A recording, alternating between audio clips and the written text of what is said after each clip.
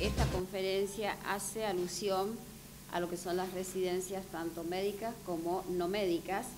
A partir de este año, nosotros eh, se han incorporado dos residencias más. Este es el hospital de la provincia que más variedad tiene de residencias y nosotros a partir de este año vamos a tener la residencia de psiquiatría, o sea, vamos a tener un psiquiatra haciendo su residencia y también eh, comienza la residencia de enfermería médico-quirúrgica acá en nuestro hospital. Éramos el único hospital de la provincia, que nosotros somos en referente, que no teníamos residencias de enfermería. A partir de este año ya tenemos la residencia también en enfermería, que eso hace a que, como decía el doctor, el, el personal de enfermería sea de mejor calidad, que es lo que nosotros necesitamos en esta institución.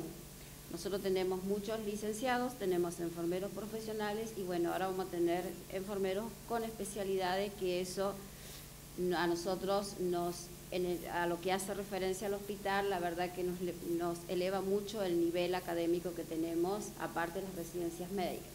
Este año tenemos dentro de las residencias médicas, eh, para pediatría clínica nos han otorgado cinco plazas, para cirugía general nos han otorgado una plaza, para clínica médica dos plazas, para la residencia de cardiología una plaza, para gastroenterología y neonatología, que son de segundo nivel, como explicaba el doctor, tenemos una plaza en gastroenterología y una plaza en neonatología, dos plazas en tocoginecología y una plaza para psiquiatría. Dentro de las residencias no médicas tenemos una plaza para enfermería médico-quirúrgica, una plaza para nutrición clínica y una plaza para psicología. Nosotros el día martes, como representantes del comité de docencia, vamos a viajar a Mendoza porque necesitamos más plazas, o sea, queremos ver una apertura más para que nos otorguen más plazas dentro de la distribución de la provincia. Por ejemplo, ya la idea de este año es solicitar para el próximo año la de farmacología, la residencia de farmacología y la residencia de bioquímica. Nosotros las residencias que recibimos son becadas del Ministerio de Salud de la provincia y también de Nación.